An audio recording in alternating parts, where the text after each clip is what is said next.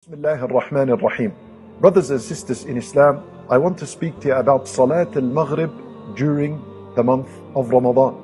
Many people have made a habit that as soon as Adhan al-Maghrib is called, they sit down on the table, they break their fast, they continue to eat and eat, and then drinks, and then sweets, and then afterwards they get up, go to the bathroom, then make wudu, and then they pray Salat al-Maghrib. By then, Allahu A'lam, perhaps Salat al-Maghrib time has ended and they don't know.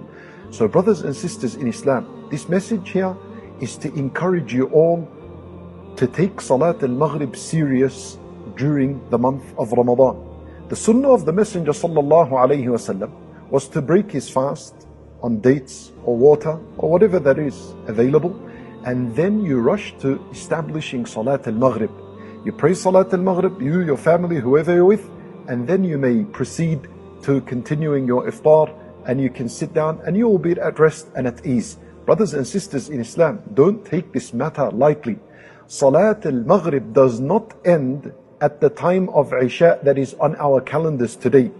Rather, Salat al-Maghrib ends عند مغيب الشفق الأحمر when the redness of the sky disappears. And that could differ from country to country. Sometimes in certain countries it could be 50 minutes from Adhan al-Maghrib until the end of Salat al-Maghrib. In other countries it could be one hour, it could be one hour, 10 minutes, it depends. And the idea is, there are madhahib in Islam that were very strict concerning the time of Maghrib and how much time you have to pray it. For example, the famous opinion among the Malikis and the opinion among the Shafi'i madhab is that Salat al-Maghrib is prayed in the time that it is enough for you to get up and make wudu, wear some clothing, face the Qibla, praying three rak'at, and then two rak'at sunnah after it, and that's it. That's under, uh, under Shafi'iyah. So that's about 15 to 20 minutes they give for Salat al-Maghrib. So we need to be careful.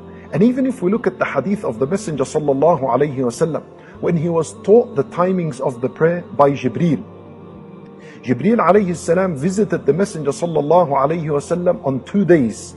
The first day, he led him in salat for all the prayers at the beginning of their time. On the second day, Jibreel came and he led the Messenger sallallahu alayhi wasallam in the prayers. He led him and he prayed the prayers at the end of their time. At the end of their time.